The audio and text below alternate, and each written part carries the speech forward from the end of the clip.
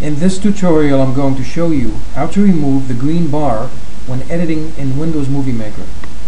Now here's a video that I edited and this green bar is appearing, it's ruining the video and I want to remove it. So I'm going to show you how to remove it. What you do is go to all programs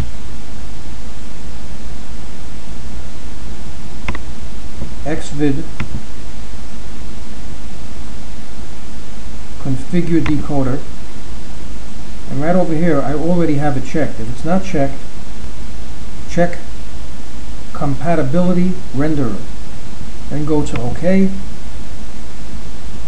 Now what you do is just re-edit the movie in Windows Movie Maker publish it.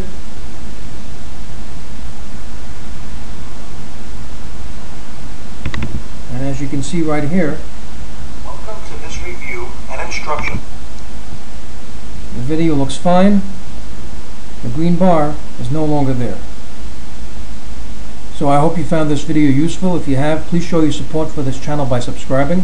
Feel free to leave comments. Please like up the video. And thank you for tuning in.